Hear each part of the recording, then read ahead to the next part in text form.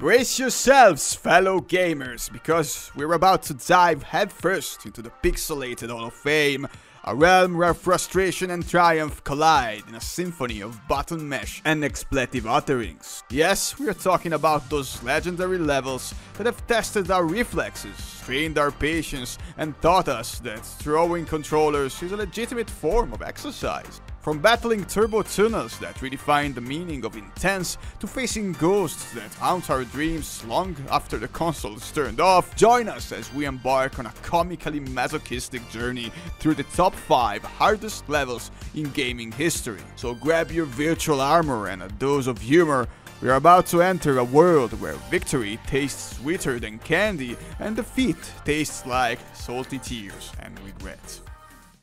Level 256 Pac-Man Imagine that you're our beloved circular hero, munching away on those dot-filled mazes like a snack aficionado. You've danced with ghosts, avoided collisions, and now you're thinking, I've got this in the bag. But wait, there is a glitch in the matrix. As you chomp your way through levels like the video game superstar that you are, you suddenly stumble upon the mythical 256 level. It's like the game developers put on their mad scientist hats and said, hey, you know what would be funny? Let's break the game. So picture this, you're navigating the maze, eager to outwit those sneaky ghosts, and bam! Half of your screen decides had enough of reality and transforms into a digital acid trip.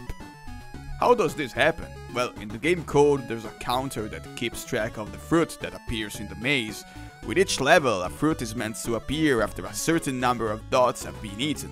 However, when the counter reaches a value of 256, an overflow occurs in the game's memory. This causes the counter to reset to zero, but due to the way binary numbers work, this reset actually results in the game thinking, oh look, there are 256 fruit counters present. You try to maneuver through the mess, but it's like navigating a spaceship through a meteor shower while blindfolded.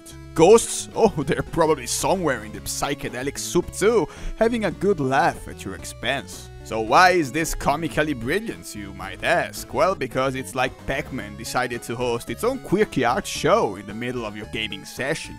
It's the glitch that's more entertaining than half the intentional features in some games of today. And as you scratch your head wondering if you've accidentally ingested some retro-futuristic mushrooms, you're actually witnessing a bit of gaming history. A moment when the pixels rebelled and turned your gameplay into a carnival ride. The Parking Lot Tutorial Driver Hi, yes, the tutorial in Driver, the virtual equivalent of your older cousin trying to teach you how to ride a bike without any training wheels.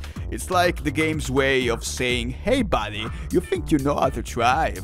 Let's see if you can handle a few simple tasks before we throw you into the traffic circus. Picture this, you're dropped into a quaint little cityscape surrounded by roads that beckon you to explore. But wait, before you can become the next Vin Diesel, you're met with a series of challenges that seem to have been designed by a very stubborn driving instructor. The tutorial in Driver is like a crash course, no pun intended, in the art of virtual driving. It's where you'll curse, laugh and maybe even question your gaming skills. But once you emerge from this trial by fire, you'll have earned your virtual driver's license, ready to tackle the chaos of the actual game with a mix of newfound expertise and a dash of battle scars. Just remember, even if you scrape a few virtual bumpers along the way, you're in good company, so the parking lot level in Driver might be a comical virtual headache, but it's also a chance to turn those laughter-induced tears into tears of triumph. Super Mario Bros. The Lost Levels Released as the true sequel to the original Super Mario Bros., this game is like a masterclass in how to challenge and befuddle players in the most delightful way possible. Imagine this, you boot up the game, ready for another round of Mario's iconic adventures, but wait, what is this? The levels are suddenly giving you side-eye like a mischievous cat plotting world domination. The Lost Levels is basically the game that asked, hey, remember how you breezed through the original? Let's see how you can handle real pain. Released in Japan as Super Mario Bros. 2 for super players, the game takes everything that was familiar with the first one and makes it a twist to the remix. Jumping? Well, good luck with those perfectly placed enemies and deviously positioned pitfalls. Mushrooms? Sure, we have a toxic mix of power-ups and poison mushrooms, just to keep you guessing. And oh, did we mention the wind? Yep, say hello to an unexpected gust that treats your jumps like they're made of lead. Level design is like a riddle wrapped in a conundrum dipped in hot sauce. Platforms that looked safe might crumble beneath your feet. And jumping into a pipe, well, you might just land in the clutches of an enemy instead of a cozy warp zone.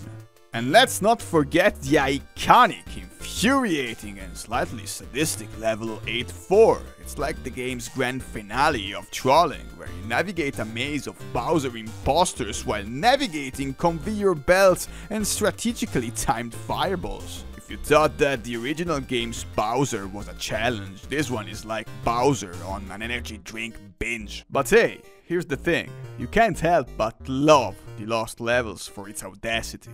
It's a game that doesn't hold your hand. Instead, it shoves you into the deep end and challenges you to swim. It's a gaming obstacle course that gives you bruises and laughter in equal measure.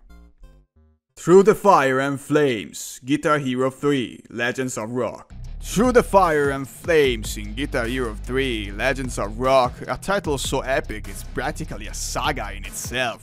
Imagine picking up that plastic guitar controller, ready to rock out like a legendary shredder, but then you enter this one and it's like the game is saying, alright, let's see if you've got the chops to handle the most electrifying challenge of them all. First off, the song itself is a relentless barrage of notes that would make even the fastest typists jealous. It's like the game designers huddled together and said, hey, what if we took every possible note combination and turned it into a sonic roller coaster? And the pacing, it's like a high-speed chase with a musical twist. The notes fly at you like they're late for a rock concert, and you're the only one who can get them there on time.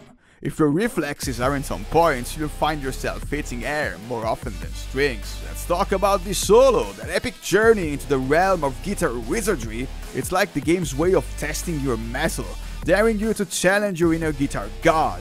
You'll be tapping, strumming, and bending notes like a rock and roll sorcerer, all while trying to maintain your composure and keep your combo alive. But here's the thing failing has never been so much fun. You laugh, you cry, and you might just throw in a few air guitar moves for good measure. It's a level that demands your focus, your rhythm, and your determination because while it is challenging, it is also a testament of the power of music and the sheer thrill of mastering a virtual instrument. So when you finally conquer through the fire and flames, you'll be one of the few, and not just a player, but a rock legend. Or well, a guitar hero, since it's the name of the game. The Turbo Tunnel Battle Battletoads. Last, but actually first, the game that takes the term challenge and cranks it up to 120, Battletoads, where there's the level 3, aka Turbo Tunnel. Buckle up, because you're about to embark on a journey that will test your reflexes, your patience, and possibly your sanity. So picture this, you're on a hover bike, zooming down a tunnel at breakneck speed. The catch, well apart from the obvious fact that you're hurtling towards walls and obstacles, is that you've got milliseconds to react. Yes, milliseconds. The turbo tunnel is like a virtual reflex test that's been dunked in caffeine and set on fire. Obstacles come at you faster than your brain can process them. You're dodging walls, jumping over pits, and timing your moves with the precision of a surgeon. You might survive one section, feeling a sense of triumph, only to crash and burn in the next, wondering what sorcery is required to master this level. As if what you're saying isn't enough, the level features a catchy tune that's probably permanently etched into your brain. It's like the game's way of saying, you cannot escape this level, and you cannot escape this earworm. The Turbo Tunnel isn't just a level, it's a rite of passage. It's where the triumphant, I did it, is followed by the inevitable, wait, how did I do it? But hey, when you conquer it, you're not just a Battletoad, you're a Battletoad who survived the most grueling speed trial in gaming history. So grab that overbike with your tits and prepare for a wild ride where the only way out is through and past a lot of walls. And there you have it, brave souls and nimble fingered warriors. Through the force, through the most challenging and often comically surreal levels in gaming's storied history. As we bid farewell to the pixelated perils and AI adversaries that seem to have a vendetta against our progress, let's not forget the laughter they've inspired, friendships forged in the fires of shared frustration, and the sheer satisfaction of conquering the unconquerable. So next time you're faced with a level that threatens to turn your controller into a projectile, remember, it's not just a game, it's a chance to become the hero of your own digital epic. Keep gaming, keep laughing, and may your thumbs remain forever nimble in the face of the impossible. Until the next challenge, fellow gamers, may your save points be frequent and your victory dances legendary.